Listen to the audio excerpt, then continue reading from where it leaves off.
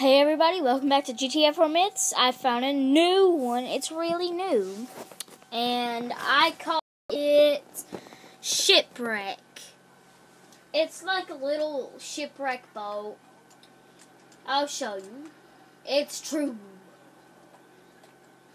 You can step in it. I don't think you can. Whoa! Haunted shopping cart. That was my phone, everybody. I'm sorry. Haunted shopping cart. I'm joking. Only this, guys. I don't know if I'm like standing directly in it. Um, I don't. Get away! Get away! Get away! Um, you can step on these boats too, but they're boring. So, if you try to get anywhere, you have to do something. So. Well, I found this shopping cart too, so that don't really count.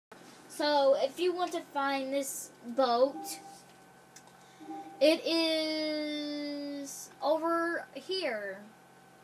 It's in this area. Whee! And I'll zoom in for you. And there's like, you know, this little PP or something. I don't know what it is. It's right there. It's on my map. And there's a big, I don't know what that rock is, but it's cool, and I want to get on top of it. Um, anyways, when I get on top of it, I am going to tell you guys. So, if you find this myth, I hope you do. So, watch me in the next video.